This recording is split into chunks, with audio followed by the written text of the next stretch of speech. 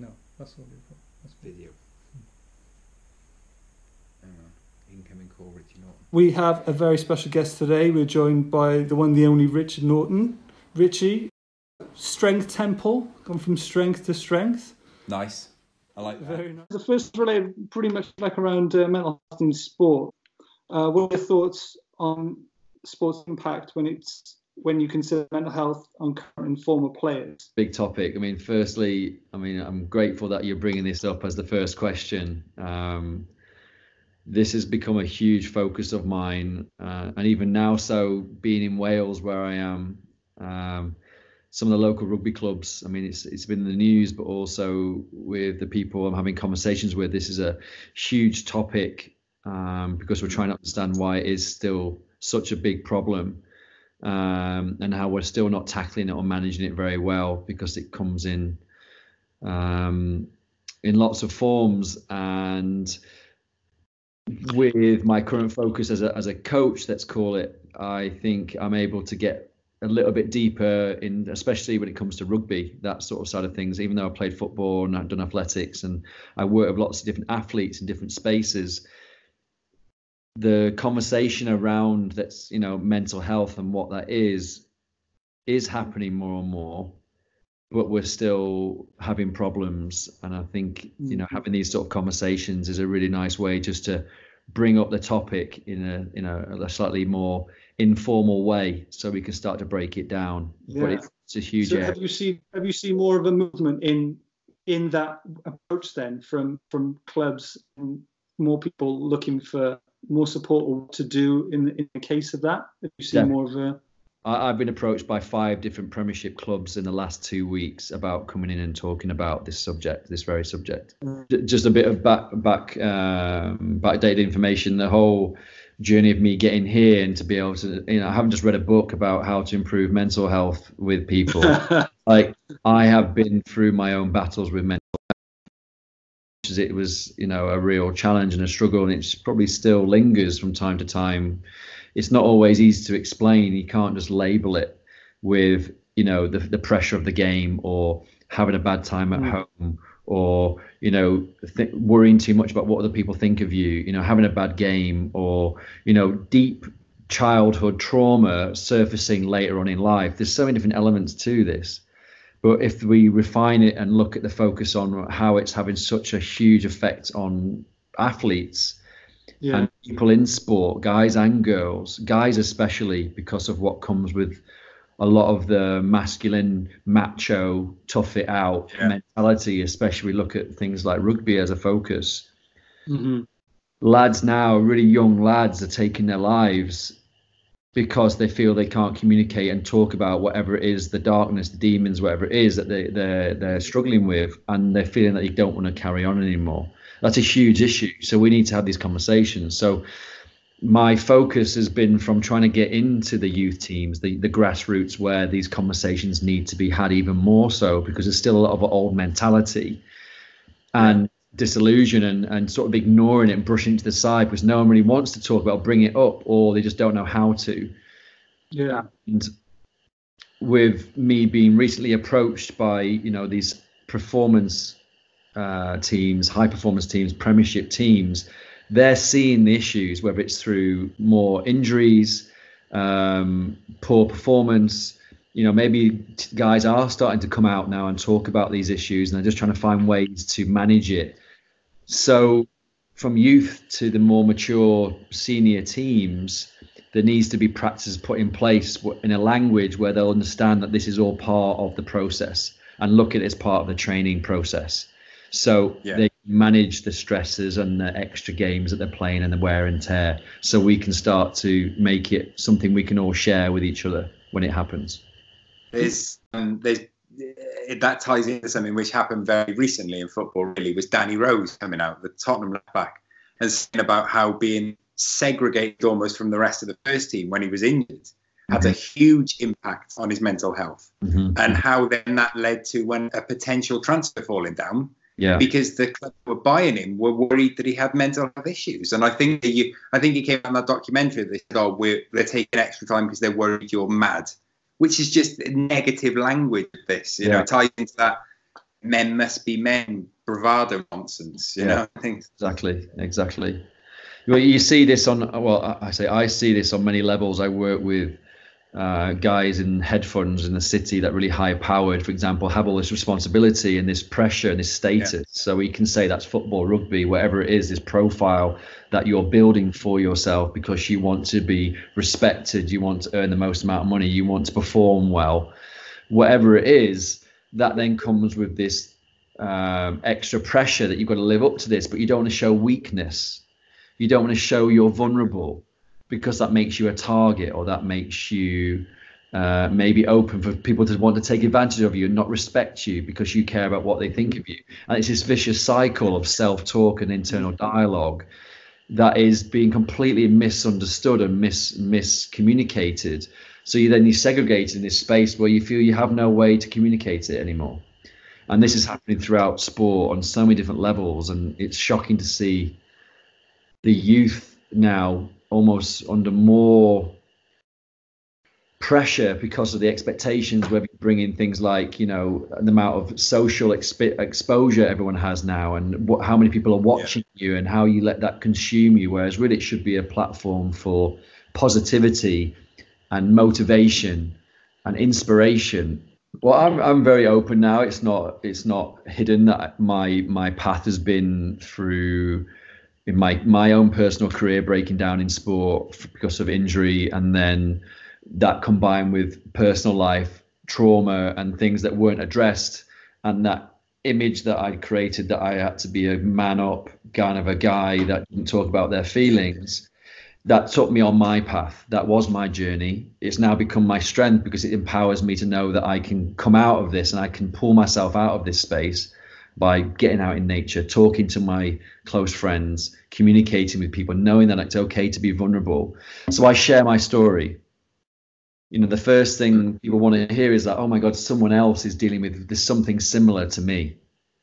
They're Yeah. not alone. It's okay to not be perfect. It's okay to have struggles because it's part of what happens as we start to develop our strengths and become more resilient and be a Mm. better human being but we, we we make this bigger thing because we never really get to process it and clear the air. We we have these struggles and we battle with them ourselves. So my communication with the youth team, whether it's a Premiership team, whether it's like a guy in a, in the city, whether it's a normal general public, it's the same thing. It's okay to not be on your best form all the time. But what is bothering you? My issues are this, this, and this, and this sometimes happens, and this is the emotion that I get can you relate to that? And someone just going, wow, that's exactly what I've been through. I didn't think anyone else talked about it or it was okay. This is a safe space. You're creating a safe space for that individual. And that might be a completely Yeah. random person that I've never met before. But it's like, it's okay. I've been there. I get it. You know, I, I've Yeah. yeah, that compassion and understanding and respect for another human being that's obviously struggling it's not that you're not any more of a man. It's like you're just having a bit of a struggle. You're battling, but this, you know, we can work through this together, and we're going to have a tighter bond for it. And you're going to be a stronger, more powerful human being because you've embraced it. That's empowering for So the that-. That's empowering for the adults. You know. Do you think that people devalue their health and what they've actually got? Yeah, well, I mean, everyone's a little bit different, and we're all on our own individual journeys. So I, when I see people at workshops, uh, in my classes, when I'm doing seminars or talks, you know, last thing you want to be doing is going, "What's your problem?" or like, "Tell me what you're struggling with." People feel, you know, don't feel comfortable with that. So it's about creating a safe space. So you also have this power. You might not be a Yeah. coach or a teacher and like that, but you still have the ability to go, "How's everyone doing today?" You know, Yeah. everything okay? Do you want to talk about it? This is what I've been dealing with. And what comes up from that is people start to just kind of acknowledge that they've painted this picture, whether it's ego driving them because they've got this image of themselves and they have to uphold, or maybe they don't even have a friend circle that they can talk to. Maybe they're, you know, they're lonely and they don't have anyone to communicate with. So you've also got these athletes, these big, strong, butch, like you know, rugby lads. I used to be one. You know, I never want to talk about my feelings, but they've they've, they've channeled all that energy, like I did, into their sport and their training, and and that's what mm. allows them to have an outlet. but they've got this big like, you know, tough exterior. They just need to break it down. But it's really the a little softy underneath. You know, Yeah. which a lot of rugby players are, which is awesome. Yeah. Yeah. Doesn't mean you Well, it doesn't, taps into the. You're not nails. It's- it- you know, you walk over Yeah. a rhino, that's fine. Leave it on the pitch, you know, but there's a, there's, you know, it's like a, a vulnerability that needs to come out with that. That's actually empowering. Yeah. You can improve it. It doesn't make you any weaker. It's because it's up here, you know. So it's, So it's that's- interesting to see how people like acknowledge it and make that little shift of perspective to go, actually, yeah, I was doing that, or I can change that. I am empowered to do that. Wow, that's so Yeah. different how I've been approaching it, and they start to use different language to themselves, and you change the story. I want to just discuss a little bit of social media with yourself. How do you feel about, on one hand, giving these people the content to do the work in order to do that, and the other, we all know the detrimental effects of having social media and having to check people check their phone, and it's hard for people to get off the phone. What are your thoughts on this, like that type of social media, and what is your preferred platform? I mean, Instagram is definitely my most active Mm. um, platform because it's the one I've been working on, I guess, for the most amount of time. Um, I do cross across, um, move across Twitter and Insta- uh, Facebook and LinkedIn, but it's just it's just understanding what space I'm and what I'm trying to put across and in what sort of language, so it is more relative and it's Yeah. more engaging. Because at the end of the day, if you're not bringing value, why do it in the first place? Unless it's just a vanity thing. Yeah. You know, Yeah. you just want people to like you and comment on you. I mean, why does should that matter? We should all be looking to like, bring value, even if that's entertainment. But it's more. I think there's a lot of people getting lost in just looking for attention, Instead of purpose. and you know, attention is a commodity. I get it, but it's also what kind of attention are you looking for, and how is that making you feel? And that then leads into your relationship with that that platform and what you're actually doing, what you're offering whether that's you know business, whether that's you know a fitness professional, whether that's jam, honey, Yeah. you know flowers, whatever it is. It's like okay, well it's great that you're promoting your business, which is a tool for businesses now. Mm. You know more than just a social network to communicate with people. It's business. So my relationship with it is like, well, yes, I am a business, Mm. And I'm going to choose now, after having obviously my own little battles with God, I hate it, it's doing my head in, I'm just stuck on it all day long. Yeah. It's such a big distraction. Now they brought out these stats and analytics. I've not, I'm on the phone for like seven or eight hours a day. Yeah. What? Yeah. Do the numbers on that. You know, you know, it's, it's not healthy Mm. for you to be so distracted by your phone, you're missing nature, you're missing time Yeah. with your family, time just being with yourself, your partner, your kids. And a lot of people, I think, when you look at it in that respect, and I I might be going off track a little bit, but put it into perspective, have time aside for when you're going to be on it, where you're going to be adding value. Yeah. Not just going to be like drone through, flipping, just, you know, Mm. occupying your brain. Catch yourself doing it. Yeah. So use it to your own advantage. use it to your advantage. It's such a great tool. I, I'm, I'm pro phones. I'm pro social because there's so much great content out there coming from people that are super passionate, engaged, and want to do something great with a really powerful message to create awareness and have an impact. It's just you have to choose where Mm. your attention is. If you want to put your attention on this stupid shit that's you know just distracting you, maybe making you making you laugh, which is cool, but if it's just you distracting yourself from your reality, you're not really ever going to fix anything because you're just distracting Yeah. yourself. You're not addressing the problem. Also, if you want to follow people that do your head in and you don't like and just irritate you when you come on, and you make you make you feel negative or you make you question yourself, and they make you compare yourself, your choice to keep following them or not Mm. Yeah. is no one's making you stay on social.